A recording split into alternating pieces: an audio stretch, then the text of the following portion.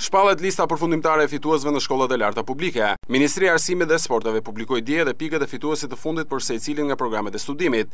Sekretaritë mësimore të fakulteteve nga data 8 deri në 13 tetor 2013, prej orës 8 deri në orën 18, të pranojnë dokumentacionin plotësues për të gjithë kandidatët fitues. ka njoftuar Ministria e Arsimit. Sipas saj, kandidatët duhet dorëzojnë personalisht dokumentet e kërkuara, si dokument identifikimi, dy fotografi dhe mandat arkëtimi i tarifës prej një mijë e gjashtëqind lekësh.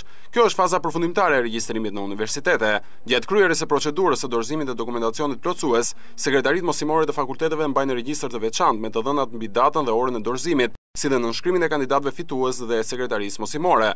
thuhet në udhëzimin e MASH. Ndërkohë, pas mbylljes së regjistrimeve do të publikohet formulari A-tre. Në të do të përfshihen të gjitha programet e studimit në të cilat kanë mbetur sërish kuota të paplotësuara.